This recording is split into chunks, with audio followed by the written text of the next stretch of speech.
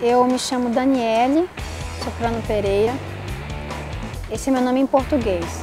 E o meu nome indígena é Adana Cambeba. Eu tenho dois registros de nascimento. Eu tenho menos de 25 anos.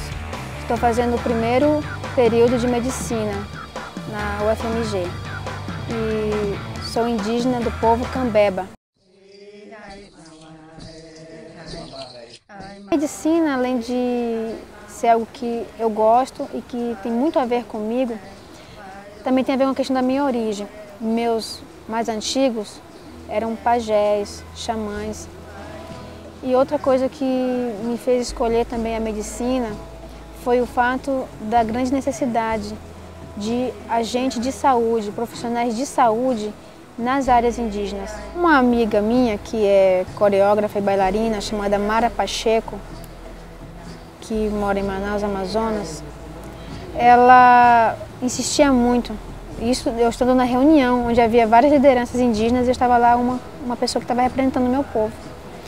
Ela não parava de ligar, insistindo para que eu fosse fazer um teste para um filme, mas não me dizia o nome do filme.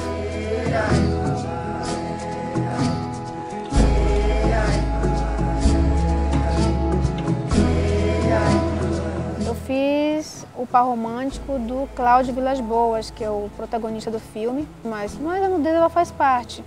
Tanto é que não se deu ênfase, né? No filme isso está bem claro, não se dá ênfase para a nudez das pessoas, né? Se dá ênfase para o processo de demarcação.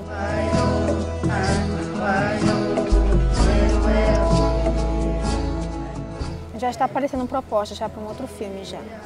Mas eu estou estudando a possibilidade e penso conciliar as duas agendas, a agenda acadêmica com a agenda artística. Penso conciliar.